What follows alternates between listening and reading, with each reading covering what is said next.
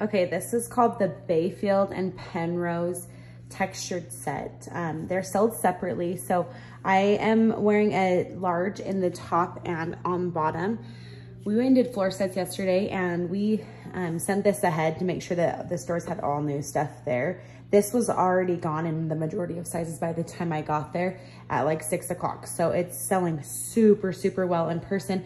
I think it's because it kind of gives that like little Vans off the wall checkered vibe. Um, but it has like all of the functionality and it's cozy, um, like I said. So elastic on the pants here, pockets, plenty of length through the leg. In fact, I have it pulled up like well past my belly button. Um, and it still is like, has some length down there. The shirt would also be so cute paired separately with just like a pair of jeans. Um, and the large is great in that one as well. You can wear it buttoned up and like tucked in if you want to, or I think this would also be really cute worn unbuttoned with like a um, tank top, like a form-fitted tank top underneath.